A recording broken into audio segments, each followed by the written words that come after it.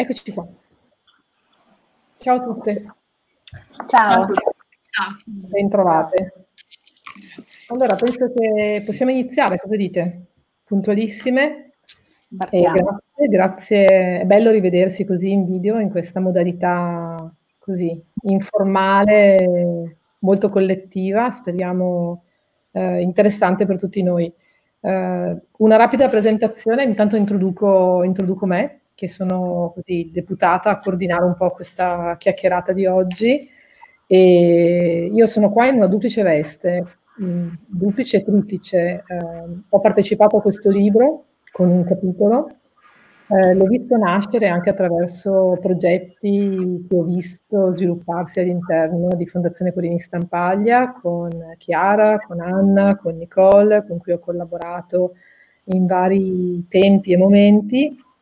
e, e l'ho visto anche così con l'osservazione di chi fa ricerca su queste materie, quindi è interessata a queste tematiche.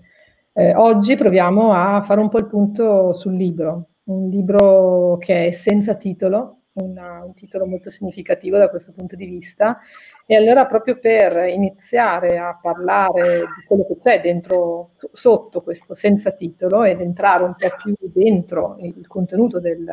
del libro, eh, proverei a fare una domanda, una domanda a tutte voi, eh, a partire da Chiara, che forse è quella che va più dentro uh, il, il, tema principale, il nocciolo del tema delle didascalie, e poi, e poi proseguiamo. E quindi la prima domanda che vi pongo uh, è questa. Uh,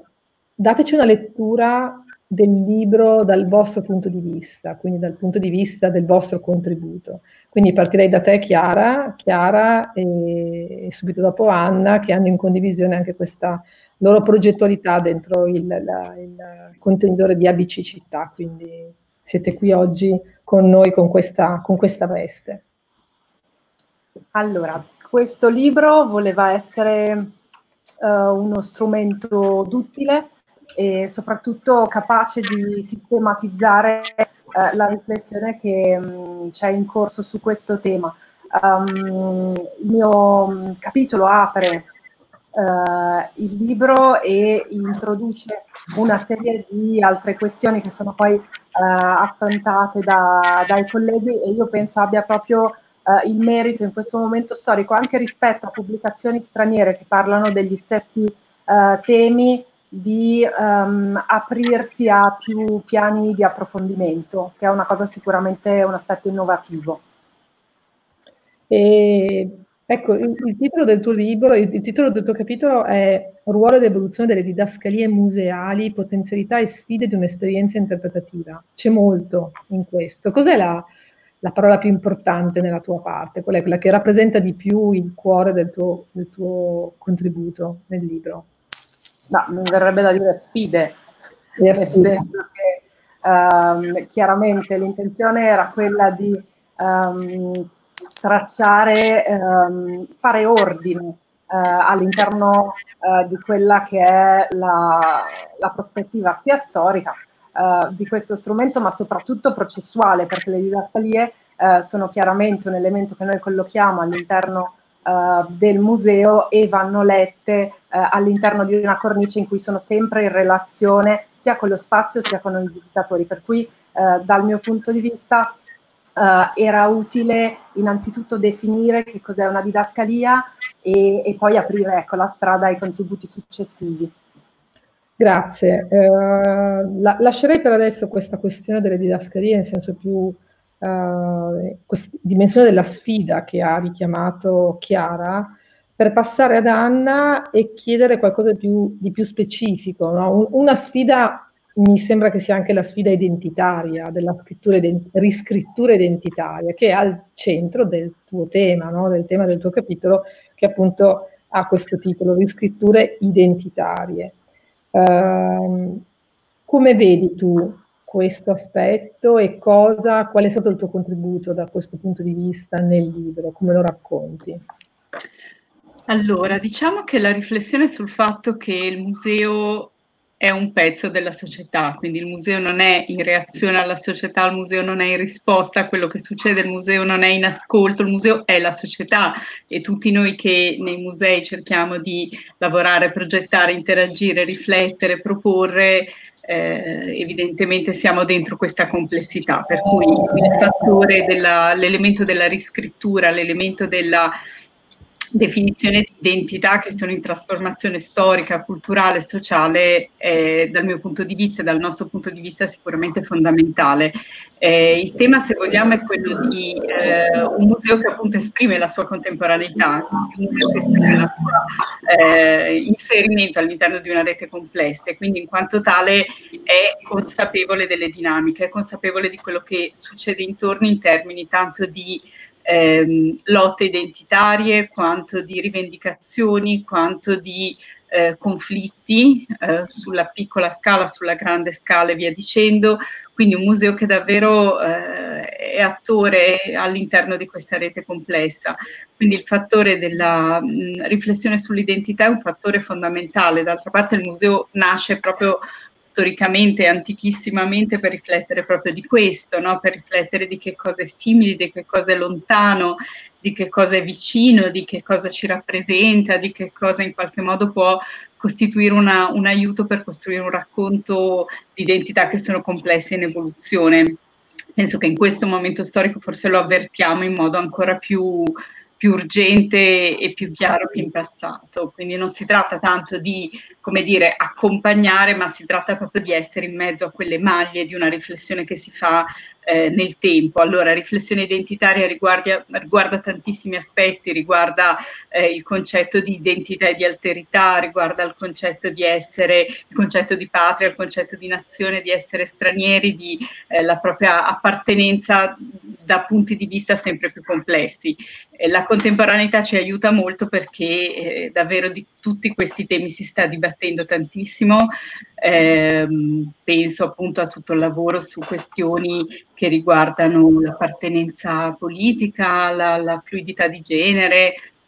la questione delle migrazioni su cui in questi giorni per fortuna si sta facendo una riflessione anche molto interessante, avanzata da parte di tanti antropologi, storici, ehm, sociologi e via dicendo. Quindi ecco, come dire, penso che ci sia una responsabilità da questo punto di vista, questo voglio dire, no? il museo non è quell'amico che ti accompagna mentre tu cammini, ma il museo è attore e protagonista di questo, di questo percorso. Grazie, grazie, molto, è molto utile ed è, diciamo, ci permette di collegare il terzo, il terzo anello di questa, di questa serie, no, di, primo, di questo primo round, che è il contributo di Nicole Mulhausen. Nicole Mulhausen che ha una veste molteplice, no? Ricercatore, ricercatrice, anzi ricercatrice freelance con varie esperienze in ambito museale e che nel titolo sceglie una parola che è resistenza, no? in questo titolo, nella resistenza ma anche prospettiva di crescita rispetto ai musei. Come ci racconti il tuo, il tuo lavoro all'interno di questo libro? Ma dunque, eh, il mio lavoro, la mia riflessione riguarda soprattutto i musei d'arte, per cui resistenze e prospettive di crescita allude un po' all'idea e alla resistenza che spesso ha accompagnato i musei d'arte nell'abbracciare una comunicazione accessibile in maniera più forte rispetto ad altre tipologie di museo. Spesso la comunicazione nei musei d'arte, se guardiamo le didascalie, tende a essere più tradizionale e disciplinare. Tuttavia si stanno, diciamo, eh, ravvisando tutta una serie di trend che fanno sì come l'opera d'arte in realtà possa essere interpretata da diverse prospettive, per cui appunto all'interno del libro si cerca di riflettere su come guardare all'opera d'arte da diverse prospettive e quelli che sono poi un po' gli impatti eh, anche a livello di gestione dei processi organizzativi all'interno del museo e, sulle, e anche sulle professionalità, per cui un'idea forte che credo uh, emerga un po' in tutto il libro e che cerco di sottolineare è che comunque mettere in discussione la struttura di una didascalia da un punto di vista di accessibilità e coinvolgimento dei pubblici significa mettere in discussione anche un'idea di museo e quindi ripensare tutta una serie di equilibri al suo interno e nel rapporto anche con l'esterno, per cui significa eh, mettere in discussione il significato che diamo alle opere o alle collezioni e guardarle da una prospettiva interdisciplinare eh, significa abbracciare nuove professionalità, per cui non più solo curatori e architetti nei processi di allestimento, ma anche eh, professionalità che si occupano di accessibilità, di esegutivismo di pubblici, di interpretazione. Significa in sostanza anche eh, rompere delle gerarchie e vedere eh, i pubblici, fruitori non solo come destinatari di un processo, ma eh, come interlocutori attivi all'interno di, di un'azione culturale e sociale. Sì, tutte queste, queste, cose che tu hai introdotto, questi, queste parole che hai introdotto, eh, chiaramente rappresentano molto bene le sfide, le sfide che abbiamo già detto prima, le resistenze potenziali a tutto questo e, eh, e le prospettive di crescita, che però sono anche prospettive che devono fare i conti con una complessità che aumenta, immagino, no? nel senso della gestione di tutti questi elementi, perché rompere gerarchie, coinvolgere i fruitori, cioè si parte da una didascalia che poi può essere vista come una semplice descrizione, eh, magari più coinvolgente, più interattiva, che, che coinvolge un dialogo e si entra in un complesso sistema che va ripensato, riorganizzato a partire da quella didascalia che sembra essere racchiudibile in um, poche righe di descrizione di un'opera. Da questo punto di vista, quindi è interessante sentire il, il punto di vista di, di Marigusta, no? Marigusta Lazzari, in quanto direttrice della Fondazione Corini Stampaglia, poi quella complessità la affronta, la gestisce, la vede, no? e la, e, ecco, la, la, Fondazione Quindi Stampaglia è parte anche di questo libro, anche perché è oggetto del racconto. Ad esempio, io ho raccontato, come, come autrice di questo libro, ho messo il mio pezzo nel racconto di questa fondazione. Qual è la tua prospettiva e come vedi il libro dal tuo punto di vista? Allora, per me, per la fondazione, questa pubblicazione è una sintesi, la sintesi di un'esperienza, il racconto, la tappa di un percorso,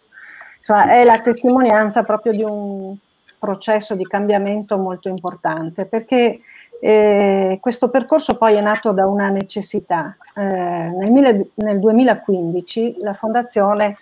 era impegnata nel compito di trovare il modo di vincere una sfida a proposito di sfide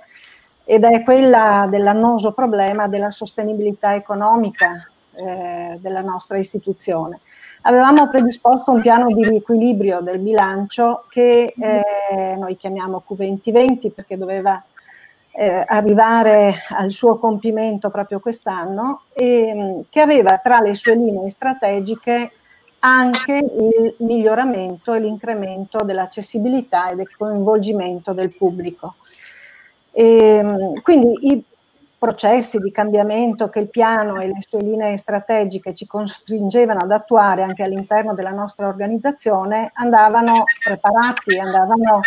eh, andava pensato un percorso di formazione eh, e anche l'analisi delle nostre attività. Così uno dei primi passi che noi abbiamo fatto all'epoca è stata proprio l'analisi dei visitatori del museo che abbiamo fatto col supporto di Nicom e di Nicole eh, cercando di tracciare proprio un profilo del nostro pubblico e cercando quindi di capire quali erano eh, i desiderata di, eh, dei nostri visitatori. L'anno successivo poi abbiamo ampliato questa analisi a tutti i fruitori dei nostri servizi, quindi anche a, agli utenti della biblioteca e per farlo abbiamo in qualche modo fatto interagire ehm, in modo trasversale settori diversi dal museo nella organizzazione e poi abbiamo interagito soprattutto con uno dei luoghi più giovani della nostra istituzione che è proprio la biblioteca, no? che è un centro proprio di attrazione. E abbiamo coinvolto per questo anche una decina di studenti di Ca' Foscari e eh, abbiamo mappato il processo di visita dei pubblici recuperando e individuando punti deboli, eh, poca informazione, disorientamento, ma anche recuperando una consapevolezza che ci mancava all'epoca, che la visita alla fondazione eh, era soddisfacente, cioè produceva, pur non essendo eh, esaustiva, produceva però eh, una soddisf- un'elevata soddisfazione. Quindi diciamo che la ricerca aveva evidenziato la necessità di valorizzare e comunicare in modo diverso i nostri servizi e le nostre attività. E eh, aveva evidenziato che dovevamo porci come obiettivo la rielaborazione e l'attualizzazione dei eh, significati tradizionali delle collezioni, proprio perché questo ci permetteva di aprirci a nuovi pubblici e anche affermare il senso, il ruolo dell'istituzione nel territorio, nella, eh, nella collettività. Quindi la fondazione andava comunicata sia come luogo storico che come luogo contemporaneo, attuale, aperto, eh, un luogo dove si ritrova la città, le sue moltissime storie, insomma, le sue tradizioni, ma anche il vivere quotidiano, la socialità, i ragazzi si ritrovano all'Aquilini. Dovevamo quindi ripensare eh, la comunicazione, la narrazione, insomma le nostre strategie comunicative. E quindi qui ha preso vita un terzo progetto. Devo dire che Ca' Foscari e il Dipartimento di Management ci ha molto accompagnato e quindi ringrazio anche qui Monica Calcagno e Fabrizio Pazzo per questo eh, accompagnarci, ma eh, dicevo che il terzo progetto ha coinvolto il mondo delle imprese creative e soprattutto una piccola società di librai indipendenti, il libro con gli stivali, che ha uno spazio commerciale appunto a Mestre. Allora noi avevamo capito che il visitatore vuole sentirsi, vuole ascoltare, sentirsi raccontare, vuole vivere eh, le eh, tantissime storie che il museo può raccontare con le sue opere, con le sue collezioni. E, e quindi ci siamo posti come obiettivo di rafforzare proprio l'impianto narrativo. Mm. Quindi con la regia eh, della libreria abbiamo attivato delle attività di formazione per il personale, personale non del museo, personale impiegato in ruoli diversi, in ambiti diversi, quindi mettendo insieme anche esperienze, e competenze eh, diverse per provare a sperimentare una narrazione che fosse più coinvolgente, che fosse più interessante, più curiosa. Eh, nel 17, nel 2017, una, un'altra tappa importante è stato il corso Le metafore della didascalia che abbiamo proprio organizzato in collaborazione con Abicittà, quattro giornate pensate per i professionisti museali che ci hanno dato, eh, devo dire, eh, l'occasione di fare una riflessione proprio sul tema della didascalia come strumento di mediazione e interpretazione, a cui è seguito un secondo corso, sempre con abicità, eh, sul coinvolgimento dei pubblici, che ci ha confermato, diciamo, nella direzione, nella direzione che avevamo intrapreso, proprio di ripensamento dei ruoli e del compito del museo oggi nella società, nel tessuto sociale.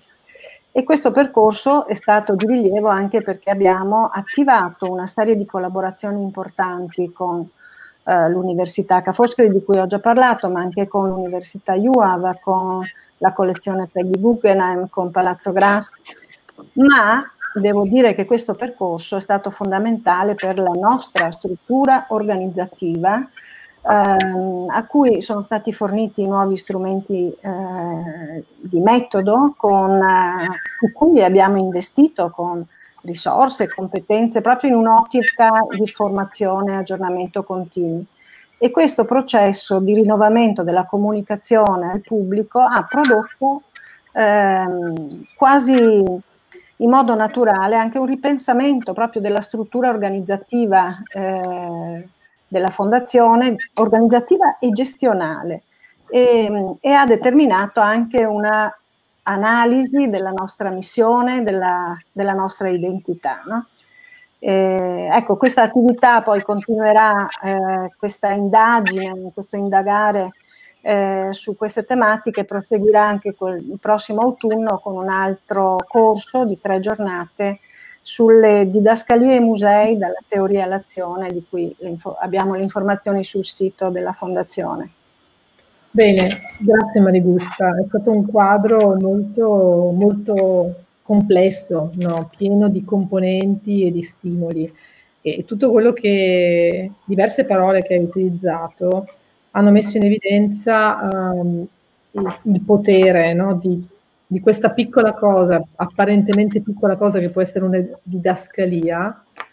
che è una narrazione che può essere utilizzata per un coinvolgimento più attivo, partecipato delle persone, ma in realtà apre uno sguardo a quella che è la relazione con la città, col territorio, con i pubblici, eh, le collaborazioni, quindi hai citato collaborazioni, istituzioni, territorio, ehm, dimensioni che sono tutte parte di un'azione sociale. Quindi la seconda domanda che farei a ciascuno di voi eh, in un secondo giro, magari più breve, perché probabilmente queste cose sono già emerse un po' nel primo giro, ma sarebbe interessante eh, farle diciamo, brillare di più. Eh, qual è il potere, qual è il ruolo della metafora dal punto di vista del suo impatto sociale? Perché una delle cose su cui tutti noi anche in quest'ultimo periodo molto, molto particolare ci siamo interrogati è proprio ehm, se l'arte e la cultura non rischino di diventare nuovamente intrattenimento, intrattenimento magari anche gratuito perché è giusto che sia così, ma in realtà dimenticando il potere e il ruolo sociale di questi luoghi, eh, che non può essere solo quello di intrattenere, di divertire, ma è molto di più. E quindi anche rispetto alle metafore vi chiedo la vostra prospettiva no, su questo. Non so se magari vuoi partire eh, Nicole, tu in questo caso, e prendiamo un po' il giro della nostra conversazione. E, dunque sì, anche dalla mia prospettiva sicuramente l'idea di concepire le didascalie come eh, degli strumenti che devono avere un impatto sulla società è una prospettiva importantissima e credo che questo obiettivo si possa verificare o cercare di, di attuare attraverso principalmente due strade. Una strada è quella di includere diverse voci all'interno dei processi di interpretazione delle collezioni, nel senso che credo che nel 2020 eh, non possiamo più immaginare che siano solamente lo staff del museo e i professionisti museali eh, gli unici interlocutori nei processi di interpretazione del patrimonio. È necessario appunto democratizzare questi processi e il museo credo abbia di eh, coinvolgere attivamente le comunità a cui intende rivolgersi in questi processi, per cui dal punto di vista pratico eh, mi vengono in mente esempi di eh, collezioni dove da un lato vi è la spiegazione da un punto di vista curatoriale, ma dall'altro abbiamo ehm, anche persone di comunità diverse che ragionano su delle opere. E un'altra prospettiva penso sia invece quella di eh, cercare continuamente di fare collegamenti fra eh, l'interpretazione della, delle collezioni della cultura e tematiche d'attualità. Io appunto ragiono sempre sulle collezioni d'arte, però penso che eh, molti temi che stanno all'interno della storia dell'arte si ritrovano anche nell'attualità, penso al conflitto religioso, l'abuso di potere politico, eh, i ruoli di genere, eh, i temi delle migrazioni, sono comunque temi che fanno parte della storia ma del presente, per cui eh, perché non immaginarsi delle, delle, didascalie che a partire eh, dall'interpretazione dei temi del passato siano però appunto anche capaci di farci riflettere sull'oggi e quindi di inserire appunto le collezioni all'interno di un dibattito che riguarda l'attualità e il presente vissuto delle, delle persone che, che visitano le istituzioni. È chiaro che sono prospettive che comportano delle sfide, anche se forse analizzate da un punto di vista narrativo, la sfida è uno sfoglio ancora credo consistente riguarda più che altro anche un cambiamento di forse anche di mentalità e di rinuncia finalmente all'idea che eh, il museo, la, la, cultura sia neutrale. È chiaro che questa eh, non sono più posizioni possibili, sono sicuramente molto sostenute esplorate eh, nella letteratura su questi temi, però sulla pratica eh, sicuramente possiamo fare ancora delle sperimentazioni. Grazie Nicole. Eh, richiamerei la parola sfide per richiedere quindi la stessa cosa a Chiara, anche dal punto di vista non solo del suo contributo nel libro, ma dal punto di vista anche della sua attività professionale, no? e quindi del, delle, della varietà di eh, situazioni e sfide che affronta dal punto di vista appunto della dimensione sociale, dell'impatto sociale delle, didascalie. Allora, le didascalie ci ricordano sempre che noi abbiamo a che fare con eh, destinatari diversi e, ed è questa sostanzialmente la principale complessità che, che che ci pongono. Aggiungo, ovviamente condivido la riflessione di Nicole e aggiungo anche che, uh, come dire, uh, le, alle didascalie è richiesto di essere certamente accessibili, accessibili uh, in senso lato, vuol dire um, per esempio essere um, uh, uno strumento utile a quante più persone possibili, ma anche uno strumento capace di uh, moltiplicarsi nel momento in cui nella sua uh, dimensione, nella sua fisicità, non sempre può raggiungere tutti i pubblici. E questo significa che il classico cartellino può essere affiancato a più strumenti che si diversificano in termini chiaramente di leggibilità e di comprensibilità se vogliamo, ma che si possono diversificare anche sul piano interpretativo, per cui non necessariamente uh, un museo che decide di um, assumere uh, una dimensione uh, anche sociale, quindi farsi portavoce di tematiche, di, di, di un bisogno urgente che oggi tutti i musei sono chiamati ad affrontare, può affiancare quella che è la sua proposta esistente chiaramente ad una nuova produzione. Uh, un altro tema che io credo sia importante, oltre all'accessibilità in senso uh, così come l'ha accennata, è quello anche per cui le didascalie possono discostruire uh, gli stereotipi mh, mm, e lo possono fare di nuovo nella, nell'esplicitare ecco, temi temi solitamente e aspetti e gruppi sociali marginalizzati come, ci, come raccontavano Chiara e Anna, ma lo possono fare davvero attraverso uh, le scelte che assumono, per cui um, significa appunto immaginare che esistano pubblici diversi e quindi nel metodo mm, farsi portavoce di una nuova ecco, consapevolezza. Grazie. Uh, a questo punto rifaccio ad Anna la stessa domanda, sempre dal suo punto di vista, sia rispetto al contributo che rispetto alla sua attività. Uh, questa, questa sfida, questa sfida sociale, come la vedi tu?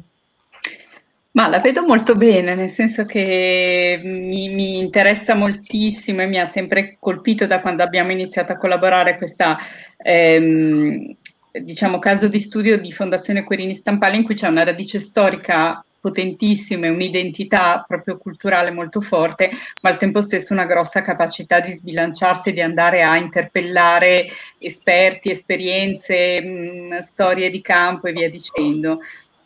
in questa tensione fra un'identità molto forte e una volontà di ricerca molto forte che come ha detto la direttrice ricade poi su tutte le persone che lavorano nella fondazione, quindi non è soltanto un episodio isolato, ma è un patrimonio che poi va veramente a eh, crescere insieme alle persone che lavorano in fondazione. Ecco, in questa tensione si sviluppa, io credo, eh, il ruolo, il compito de, del museo contemporaneo. Quindi eh, io penso che non ci siano delle formule buone per tutti, non ci sia un vademecum su come si fa la didascalia.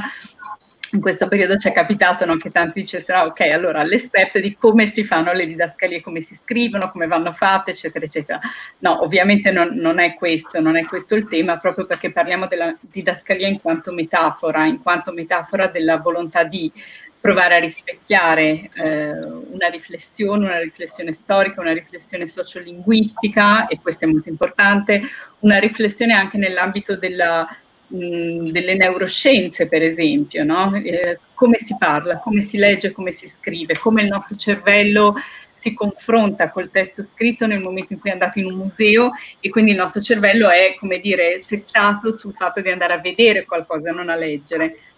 in che modo la conoscenza si costruisce attraverso questa enorme eh, anche fatica no? di attraversare de- delle parole, di attraversare delle immagini e di aggregarle fra di loro in modo tale che possano in qualche modo eh, diventare nostre. Ecco, allora questo è in qualche modo il percorso che abbiamo fatto fino adesso e che eh, continueremo a fare appunto attraverso questa sperimentazione della fondazione appoggiandoci a chi questi temi li sta studiando oltre a noi. Eh, noi in particolare, diciamo, l'esperienza di abicità è un'esperienza proprio di campo, nel senso che noi lavoriamo eh, partendo dalla progettazione partecipata con uno sguardo che sta, diciamo, fra l'architettura, l'urbanistica le scienze sociali, quindi intersecando diversi saperi io e Chiara in particolare ci occupiamo proprio di, di museologia cercando di fare da ponte, anche questo per noi è una metafora, un esperimento molto interessante professionalmente, fare da ponte fra quel mondo proprio di campo, di prima linea, che lavora mh, nelle periferie, che lavora eh, in contesti di rigenerazione urbana, eccetera, eccetera, e un ambiente come può essere quello del museo, con tutte le connotazioni che ha assunto storicamente. Quindi ecco, tutto questo per dire che appunto è un processo, un processo fatto da oh, gruppi di persone che si aggregano in modo variabile ma, ma proficuo e che io penso sia in, in, ulteriore espansione e è proprio quello che stiamo cercando di costruire come, come progetto. Aggiungo soltanto una cosa brevissimamente cioè che appunto nel libro c'è anche il contributo di, di Enrico Giori che si è occupato di un aspetto proprio di, eh, di, design e di leggibilità delle didascalie raccontando alcune esperienze interessanti e di Maria Elena Colombo che ha intervistato James Bradburn, direttore di, di Brera, proprio perché è un altro caso di studio per noi particolarmente interessante. Quindi ecco, questa dimensione, come dire, un po' collettiva, proprio di, di gruppo di persone che riflettono su questi temi è più che mai importante, forse corrisponde anche a un modo di apprendere che mi sembra più funzionale in questo periodo storico. Grazie. E a questo punto Marigusta, questa dimensione sociale che è una dimensione collettiva all'interno della struttura, all'interno della fondazione, ma è anche una dimensione collettiva che si confronta con un sociale in, intorno e, e, e nel quale la fondazione sta e opera.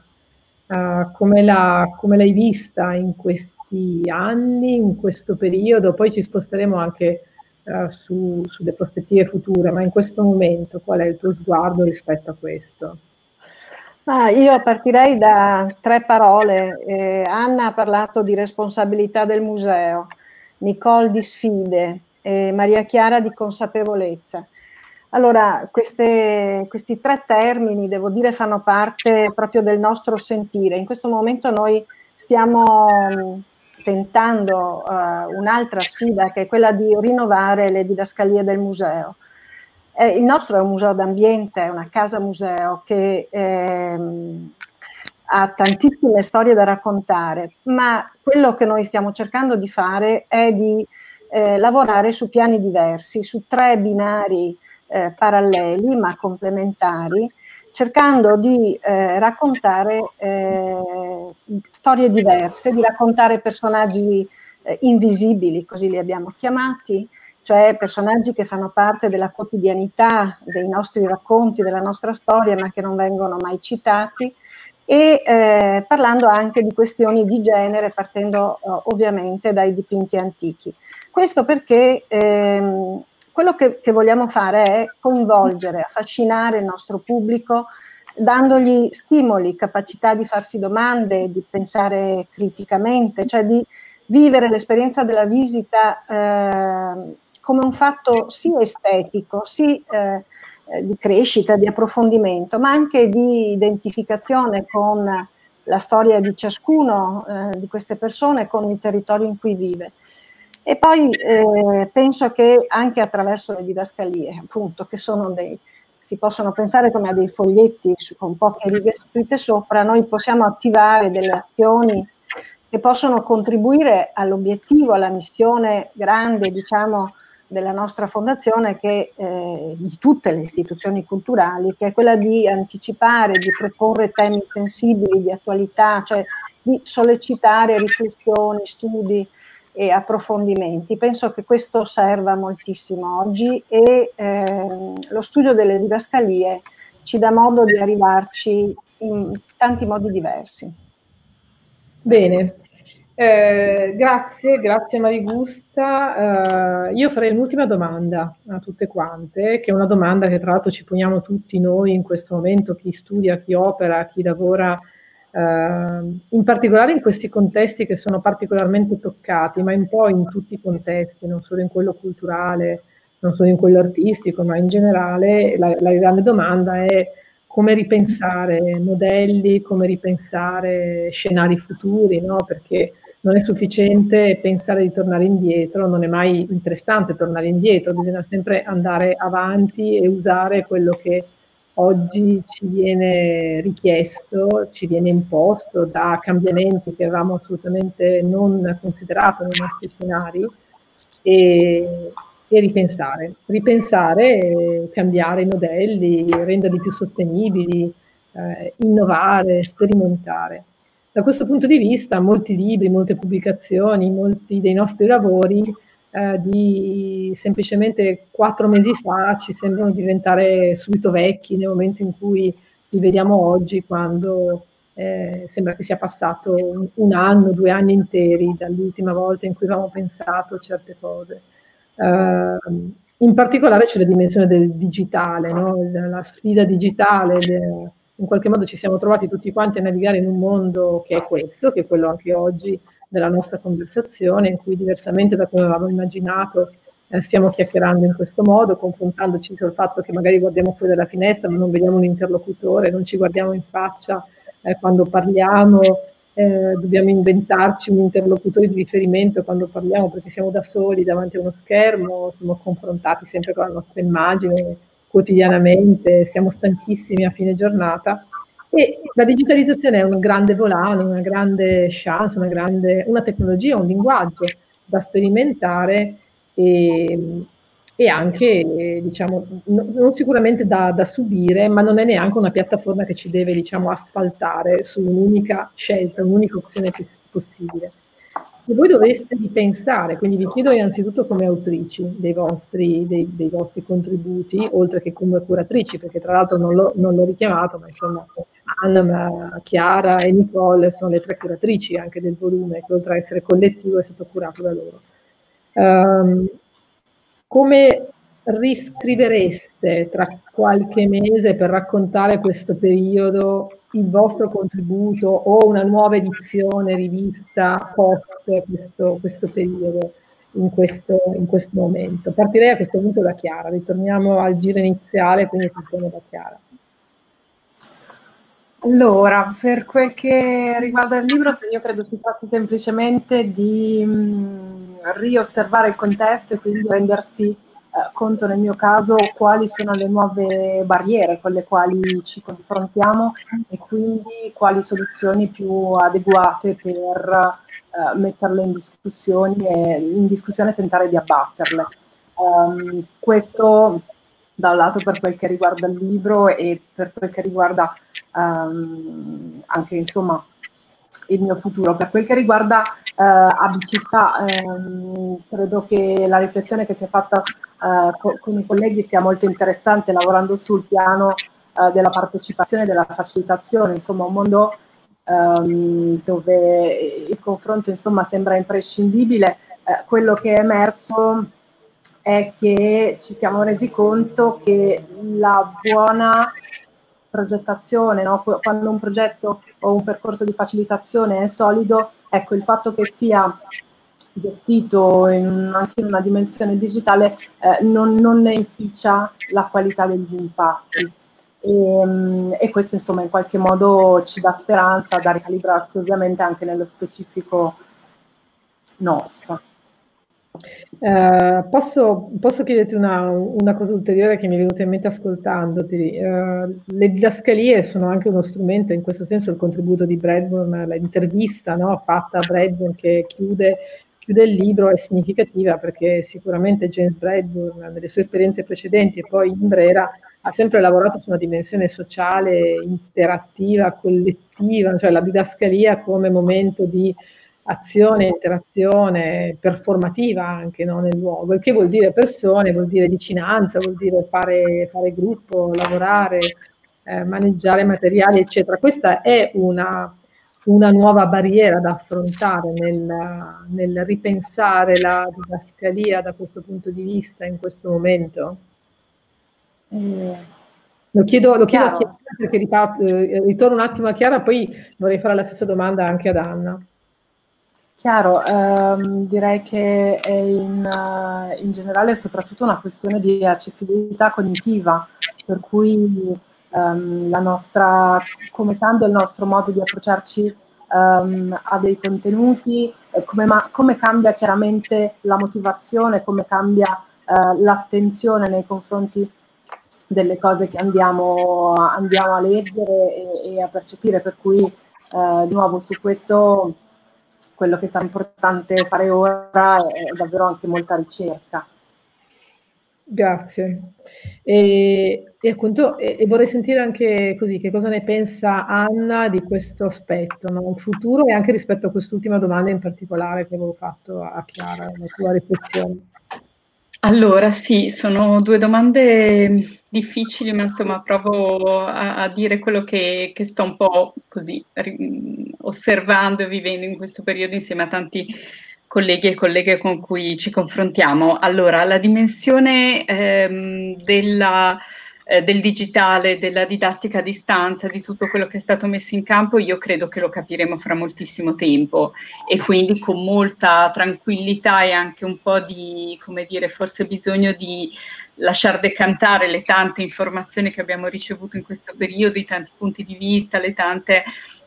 mi viene da dire che forse serve un po' una sorta di piccola davvero estate di mezzo che ci faccia forse eh, osservare, lasciare decantare e anche un po' valutare, capire che cosa comunica e che cosa no. Non parlerei di che cosa funziona e che cosa no, perché non mi piace questo, questo concetto. Eh, al tempo stesso penso che ehm, sicuramente c'è stato un grosso scatto di crescita, questo sicuramente è un grosso momento di riflessione. Poi eh, che cosa succederà però mi viene da dire, eh, almeno io personalmente, ma ne abbiamo parlato appunto anche con Chiara, con i colleghi di Abicità, in generale, ecco, come dire, questa rapid response, questa cosa per cui bisogna per forza dare una risposta immediata, eh, ecco, non, non lo so, non credo che sia tantissimo il nostro modo di procedere, credo che in questa confusione che ci ha attraversato e di cui siamo stati involontariamente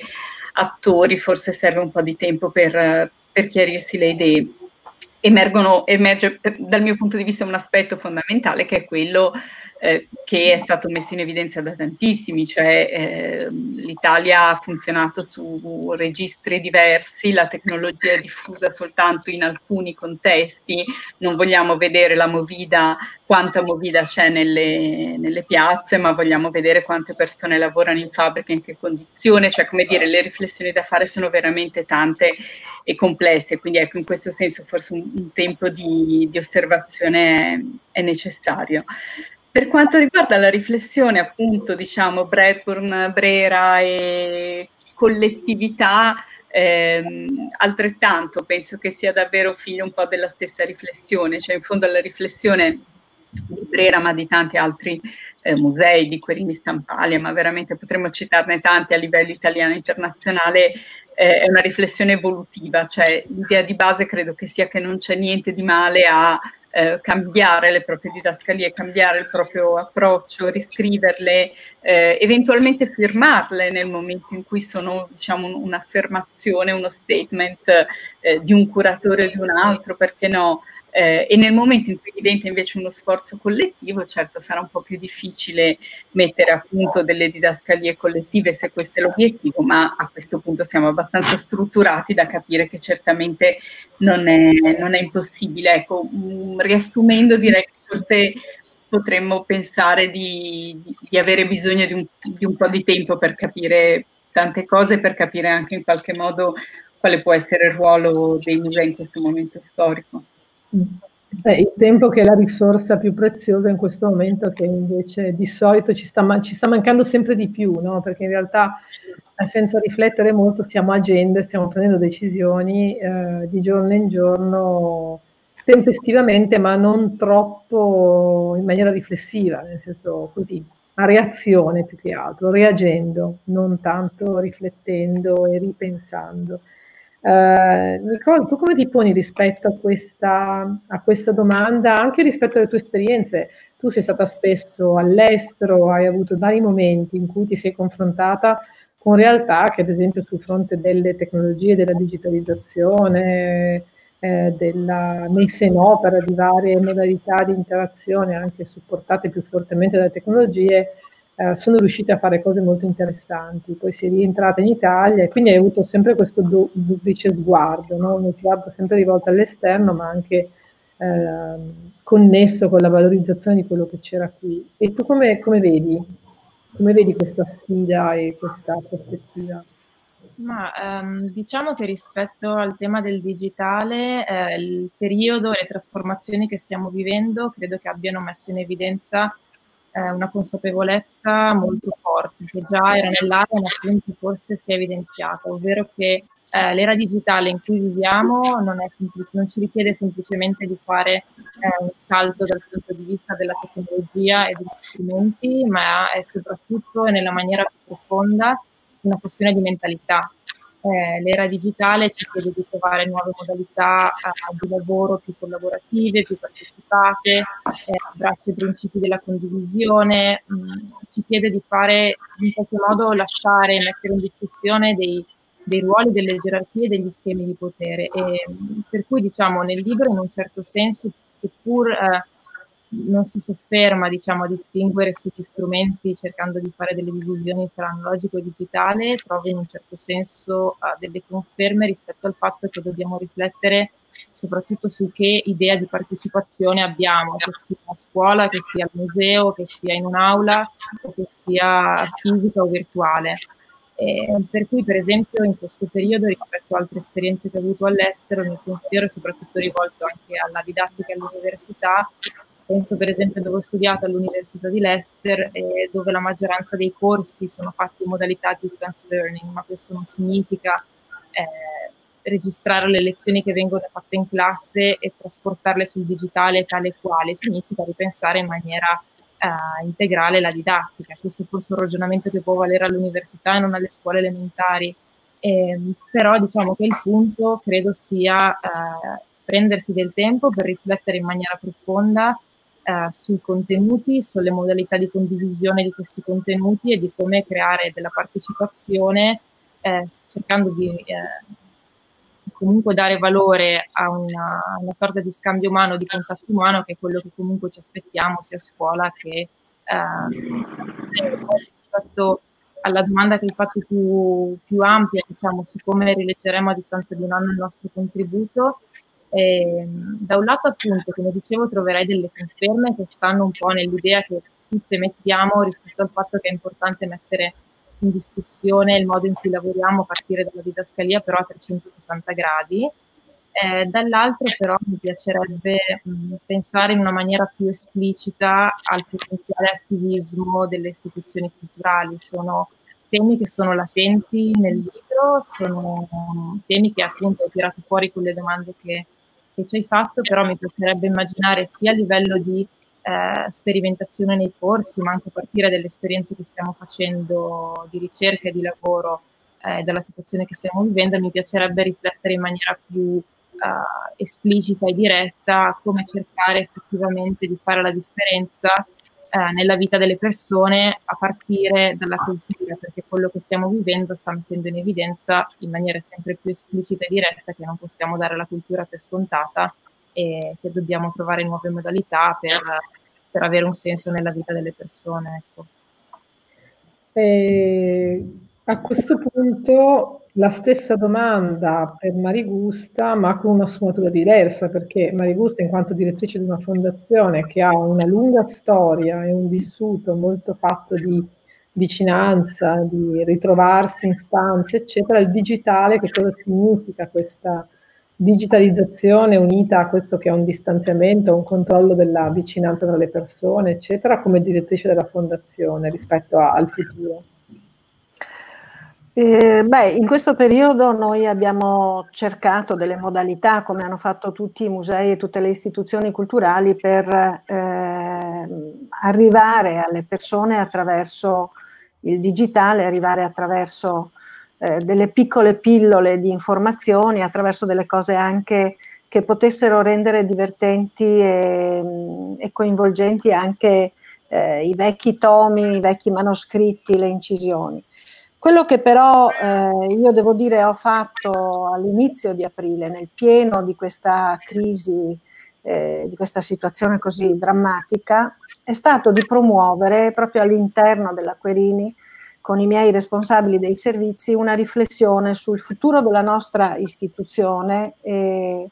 e sul futuro dei nostri servizi. Quindi non ho una risposta da dare. Diciamo che eh, la riflessione che io ho chiesto riguarda sia temi che cambiamenti eh, anche radicali e riguarda anche la città in cui questa istituzione eh, ha operato in questi 150 anni, la città in cui viviamo, lavoriamo. No? I nostri pensieri vanno a una strategia di lungo termine orientata sì alla conservazione, ma anche allo sviluppo nello stesso tempo, alla definizione di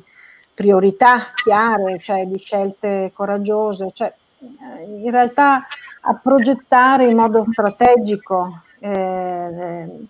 in un contesto che non coinvolga solo l'arte, il design, l'architettura, no? la formazione che è un po' eh, il centro del nostro lavoro, ma anche l'ambiente, la città, il territorio che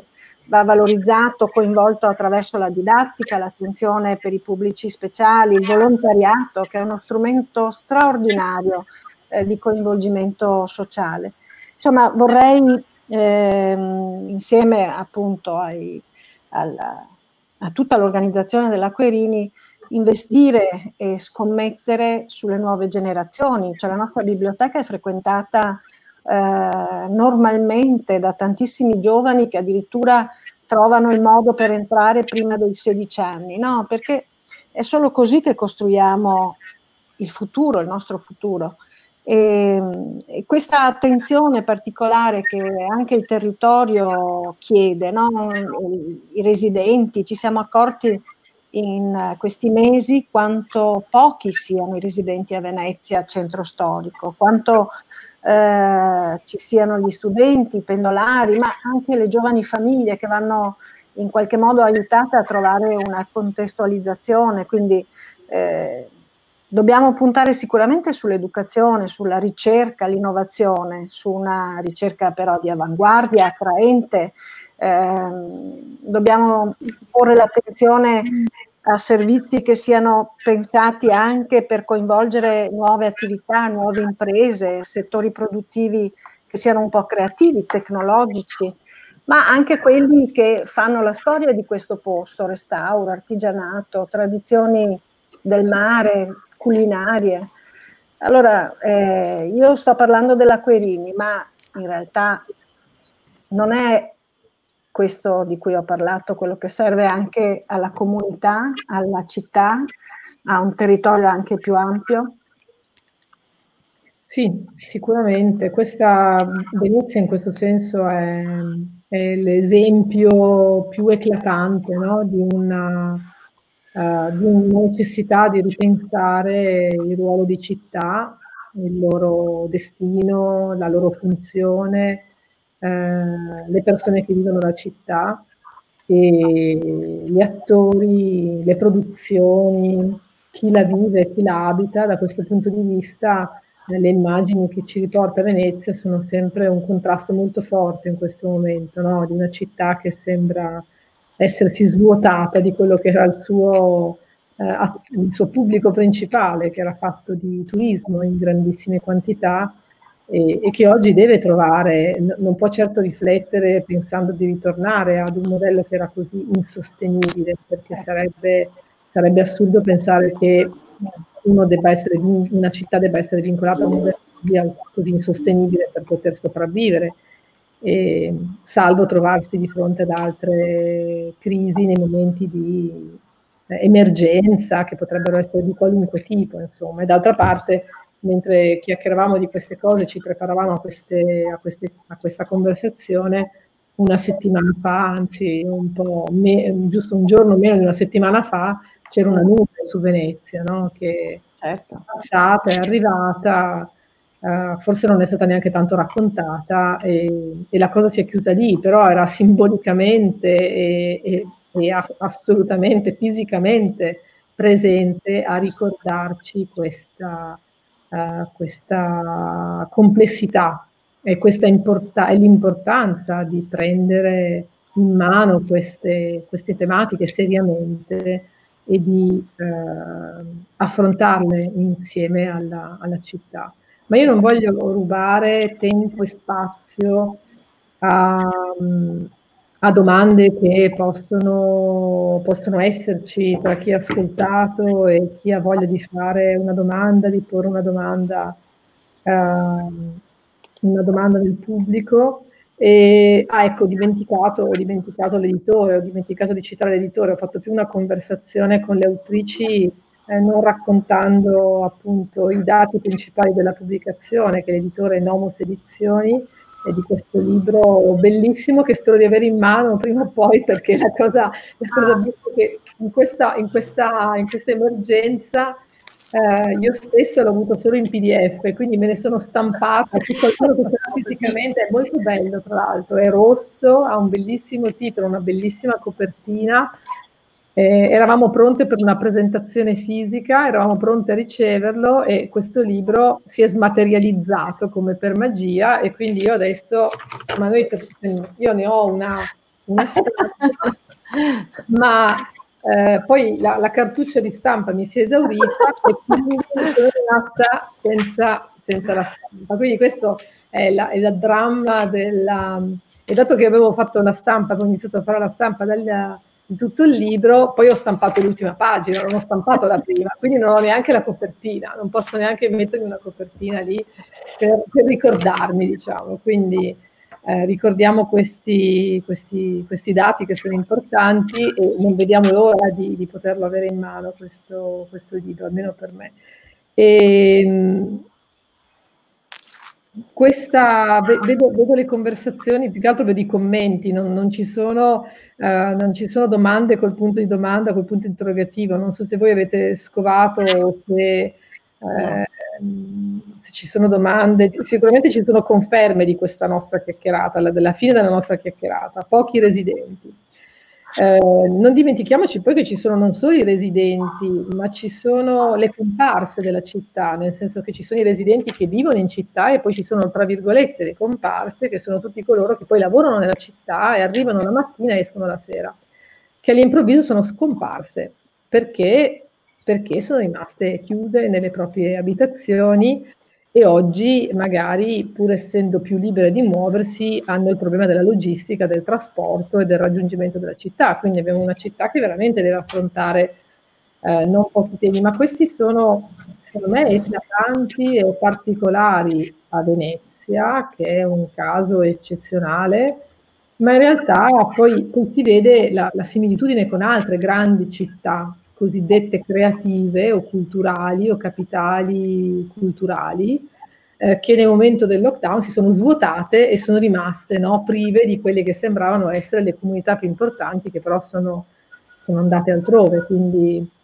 quindi, in realtà questa riflessione eh, che abbiamo iniziato a fare è una riflessione che è, va molto al di là, penso, eh, dei, nostri, dei, nostri, confini. penso che anche a Milano, vero, ci sia una, una riflessione in corso, no? che sul futuro il destino delle città creative, piene di eventi, piene di meeting, che raggruppano persone, che sia turismo di lavoro, turismo di cultura o altro, e che devono trovare una dimensione di vivibilità, di sostenibilità, di felicità delle persone, no? che mm. devono vivere in questi spazi e non solo fuggire al momento in cui questi spazi diventano una costruzione. Quindi tutti noi siamo ancora parte di questo esperimento, sì. non so voi, ma eh, per quanto mi riguarda, alla fine siamo rimasti tutti chiusi in casa a lavorare tantissimo, quindi in realtà siamo ancora tutti molto, molto in quarantena, una quarantena intensamente lavorativa, ma sempre una quarantena.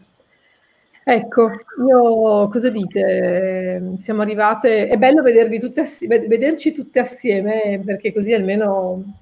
anche se siamo tutte più piccole nell'icona, però è più così, è più collettiva, è molto più collettiva e più piacevole. Uh, il tempo della nostra diretta credo che sia finito qui, no? Sì.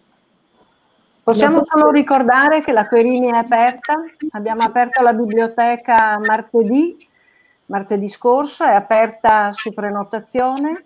e il fine settimana, i prossimi fine settimana sarà aperto anche il museo gratuitamente,